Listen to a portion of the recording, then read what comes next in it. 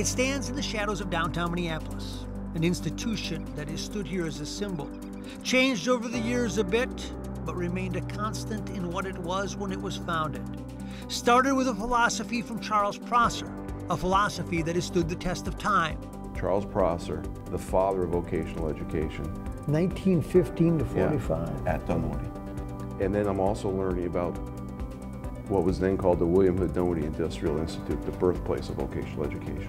What they want are students that want it. What makes it interesting is that identifying the boy or girl with the star future is not predicted on the past. The people that are successful at Dunwoody weren't always successful in high school. Some of these kids, you know, the, the theory-based learning where you sit yeah. in a classroom and someone talks at you for an hour, um, that, that isn't it doesn't resonate. It doesn't resonate. So the hands-on learning, seeing a kid that maybe was oh, a man. C or D student in high school come here and be a, an incredible student and get the top job out of his class. That's what happened in some respects to the president of Dunwoody. Before he earned a PhD, he found himself in the Navy. Instead of going into a class of 700 in a calc class and learning about what happens when you integrate a volume and, and the denominator approaches infinity or zero and, and my head's exploding, it was here's an application of Ohm's law, or here's a theory of Ohm's law, here's an application now go do it. Mm-hmm. Go hands-on do yep. it, right? And, and that resonated that somehow. Uh, yep. me. And, and, and all of a sudden I went from a kid who didn't make it at college uh, to, a, to a student that was an honor student, basic electricity, electronics. What has evolved is his leadership in the evolution of an institution that mirrors a society. Figure out what's trending and make sure you offer something, something that the marketplace wants. That's where it becomes both simple and ingenious. The technology is you know, so totally changed uh, in the way somebody has to approach the way a vehicle, you know, is repaired. Because before, if a car didn't start, you looked at fuel, you looked at ignition, and a couple other things. Now there's maybe 30 different reasons. So you prepare the men and women for a marketplace that keeps moving, and you inspire them not just to want to find a job, but to find a dream. And that's even more powerful than a paycheck. How much do you try to create an environment where you encourage them to not just master the skill, but to, as you mentioned, own a business, be an entrepreneur? Yeah. Uh, first, we're going to teach you how to master the skill, but we want you to think bigger than that. Yeah. So, what I it starts as their freshman orientation because I challenge them on on that exact point. I tell them names like when you drive down 394 and you see all the Morrie's automotive signs. Mm. Morrie Wagener, 1957 graduate of Dunwoody. That's what became of Ray Newkirk. He attended Dunwoody, got a job, then created a business, a very successful business. I was always interested in making things, and uh, someone told me that the ultimate place to go was to Dunwoody to get the right education. There's a pride about the alumni that they have been here to build the town. Our alumni have pretty much built the Twin Cities. Um, Target Field, for example. Mm -hmm. General contractor there was Mortenson Construction. Right. Morton Mortenson graduated from Dunwoody in 1925. Is that right? Yeah. Then you look down at all the contractors that worked sure. on Target Field, right? Kind of fun to keep up. Yes. So what do we estimate? 60 to 70 percent of those contracting firms that worked on Target Field were started, currently owned, or currently run by Dunwoody alumni. That's become a bit of the secret sauce.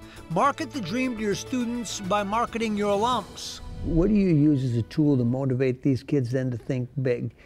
How do you inspire them? What do you do to say, look, this isn't just about your first job, this is about a lifetime?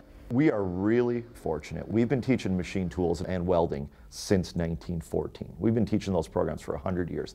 We have some alumni out there that have done incredible things. The people that Dunwoody produces, and we call it the product of Dunwoody, is extremely high because the standards are set. And again, that goes back to the culture that Dunwoody has. And you do that by employing a faculty that is already in play. The teachers are in the marketplace, so the men and women of Dunwoody are not just trying to achieve in their classrooms, they're trying to impress a possible reference. We got a company up in Fridley, uh, EJ Ajax and Sons. This company, in order to get the top guy each year, he hires him as an intern over the summer, pays him, and then what he does is he helps pay for their second year school you know, the idea is that he'll hook them and keep them. Yep. Um, but he doesn't even make a contract with it. He says, if I treat you right, I know you're going to stay back. with my company. But what drives the institution is also an attitude, the one the president carries, where he wears his pride on his sleeve.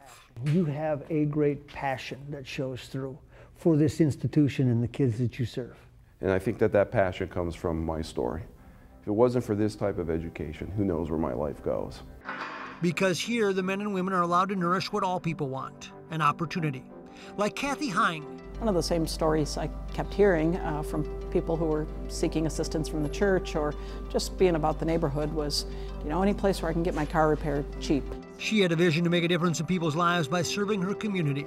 So after Dunwoody, she opened a nonprofit auto repair shop. Dunwoody was a lifesaver for me, and I can speak to what Dunwoody did for me, which was supported me at every step of the way. I, I knew not a thing about cars, and when they knew what my vision was, they were so on board and so supportive from day one. And all of the instructors said, I will see you walk across that stage. You know, whatever I need to do to help you make that, I will do it. And that was a huge gift to me, and I say with great confidence that I wouldn't have finished that program without that kind of support from those instructors at Dunwoody. Because what they hope they take with is not just a career, but a lifestyle. One that will satisfy for years to come. My primary reason for going into business for myself was because I could pick whatever work I wanted to do and do what I called the fun stuff. And today, 50 years later, we're still doing the fun stuff. And one wonders what would the namesake say if he could see it today? What would he say today if he came and looked at this? I think today he would say he's very proud of what we've done. Life to the Max is brought to you by Lifetouch, photography for a lifetime.